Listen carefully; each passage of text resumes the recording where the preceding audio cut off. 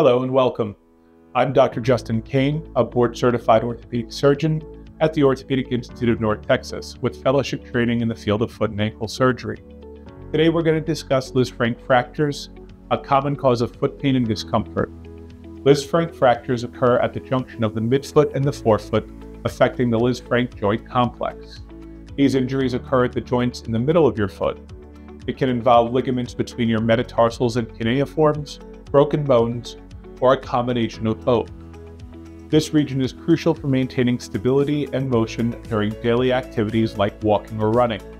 These injuries classically involve an axial loading injury to the foot, but can also occur as a twisting injury or a high energy injury such as a crushing injury or a motor vehicle injury.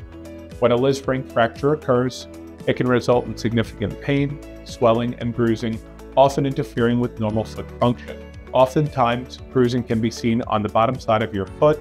If you're experiencing persistent foot pain or swelling, it's essential to seek evaluation from a qualified orthopedic specialist. At the Orthopedic Institute of North Texas, we have board certified orthopedic surgeons with subspecialty training in foot and ankle who are experts in the treatment of Lisfranc injuries. For less severe Lisfranc fractures, non operative approaches may be effective in promoting healing and restoring function.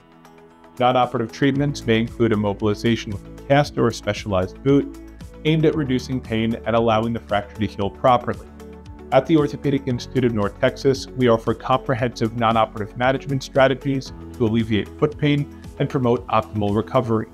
In cases where Lisfranc fractures are more severe or unstable, surgical intervention may be necessary to restore proper alignment and function.